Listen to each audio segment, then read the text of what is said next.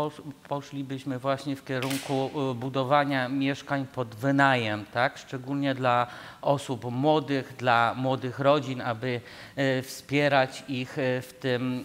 Oczywiście otwarta sprawa jest również budowy tych społecznych, takich TBS-ów, tak? Y, związanych y, z mieszkaniem, no bo nie wszystkich stać.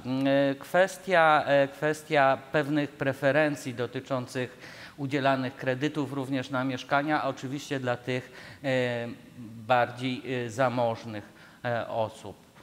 No, kwestia, kwestia tutaj pani poseł poruszała pustostanów. No, tutaj to jest jeszcze taka sprawa dość e, wątpliwa, bo te pustostany czasami e, mają, e, mają spadkobierców, prawda, więc ta, ta sprawa wydaje mi się nie jest taka jasna i oczywista, a my nie chcemy się bawić w kogoś, kto będzie po prostu łamał prawo.